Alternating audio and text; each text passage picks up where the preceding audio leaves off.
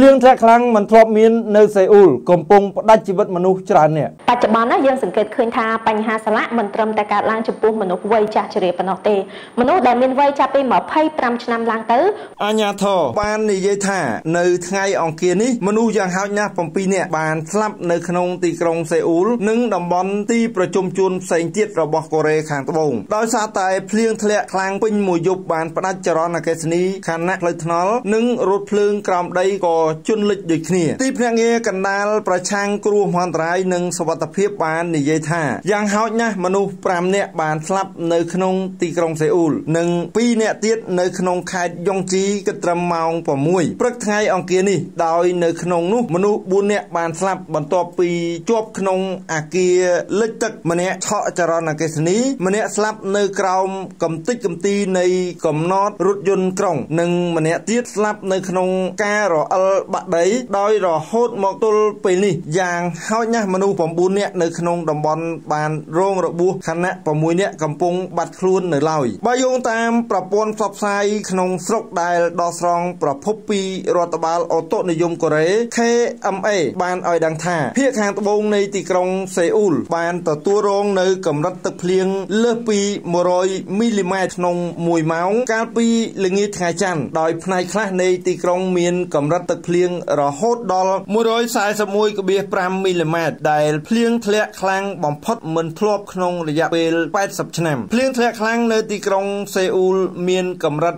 420មីលីម៉ែត្រគិតត្រឹមម៉ោង5ព្រឹកថ្ងៃអង្គារនេះខណៈនៅក្នុងសង្កាត់ចាងណាមអាគារមួយចំនួន មិនមានអគ្គិសនីប្រើប្រាស់បន្ទាប់ពីត្រូវបានជន់លិចចំណែកហាងមួយចំនួនរថយន្តឡានក្រុង និងស្ថានីយ៍រថភ្លើងក្រោមដីនិងហាងមួយចំនួនក៏ត្រូវបានលិចទឹកដូចគ្នានិងកំពុងធ្វើឲ្យអ្នកដំណើរជាប់គាំងផងដែរទន្ទឹមនឹងនោះ KMA ក៏បានចេញការប្រមានអំពីការបន្តភ្លៀងធ្លាក់ខ្លាំងនៅទូទាំងរាជធានីនិងតំបន់ទីប្រជុំជនព្រមទាំងផ្នែកខ្លះនៃខេត្តឆាងបុនរហូតយ៉ាងហោចណាស់ដល់ថ្ងៃពុធខណៈការណែនាំបែបនេះធ្វើឡើងនៅពេលដែលទឹកភ្លៀងត្រូវបានជាកថានឹងមានកម្រិតលើសពី60មីលីម៉ែត្រក្នុងរយៈពេល3ម៉ោងឬ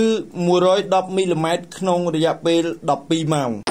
ជ្រាបសួរនាងកញ្ញាជាទីស្រឡាញ់នាងខ្ញុំអែនណាមកពីសហគ្រាសវត្តមរំខ្មែរធម្មជាតិបច្ចុប្បន្នណាយើងសង្កេតឃើញថាបញ្ហាសាឡាក់មិនត្រឹមតែកើតឡើងចំពោះមនុស្សវ័យចាស់ជ្រាបប៉ុណ្ណោះទេមនុស្សដែលមានវ័យចាប់ពី25ឆ្នាំឡើងទៅក៏ប្រឈមនឹងបញ្ហាសាឡាក់នេះដែរហើយមូលហេតុដែលបណ្ដាលឲ្យមានជំងឺសាឡាក់ដោយសារការធ្វើការធ្ងន់ការប៉ះទង្គិចជំងឺធាត់សាឡាក់ដោយសារអស់កាល់ស្យូមនិងវ័យចាស់ជរា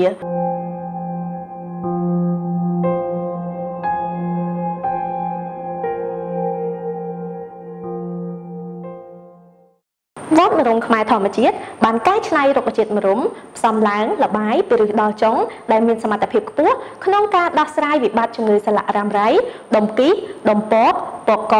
ឬដងបាត មរិញរបេងកូនកដុលសាច់ដុះក្នុងដៃស្បូនបានយ៉ាងឆាប់រហ័សហើយថ្ងៃនេះនាងខ្ញុំសូមលើកយកផលិតផលឈុតសរីរាង្គក្រៅយកមកជម្រាបជូនលោកអ្នកវត្តឈុតសរីរាង្គក្រៅមាន4មុខហើយមាន2ប្រភេទប្រភេទទី1គឺសូនទឹកឃ្មុំប្រភេទទី2គឺក្របសំប៉ែតវត្តឯកទេសស្លាកក្របសំប៉ែតផ្សំឡើងលបាយពីឫសដល់ចុងនៃរុក្ខជាតិម្រុំល្អបំផុតសម្រាប់អ្នកមិនចង់ឡើងគីឡូហើយប្រភេទសូនទឹកឃ្មុំស័ក្តិសមបំផុតសម្រាប់អ្នកស្គមរីងរៃវត្តតាមរុំអាចជួយលាងសម្អាតស្ករខ្លាញ់អាស៊ីតជាពុលនៅក្នុងរាងកាយលោកអ្នកវត្តត្រេងងខ្មៅមានសារធាតុប្រឆាំងអុកស៊ីតកម្មគឺជាសារធាតុដែលអាចកាត់បន្ថយការខូចខាតនៃកោសិកាដែលបណ្ដាលមកពីរ៉ាឌីកាល់សេរី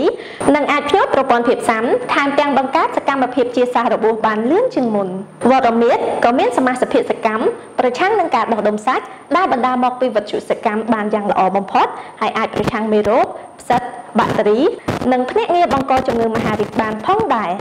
បើសិនជាលោកអ្នកកំពុងតែមានបញ្ហាដូចនាងខ្ញុំបានជម្រាបជូននៅក្នុងវីដេអូខាងលើនេះសូមកុំអស់សង្ឃឹមហើយតាក់ទងមកលេខទូរស័ព្ទទាំង3ប្រព័ន្ធនៅលើអេក្រង់នេះឬឆាតតាមប្រអប់សាររបស់ទំព័រ Facebook ភាសាខ្មែរវត្តរំខ្មែរធម្មជាតិភាសាអង់គ្លេស What Natural ខ្មែរ Moringa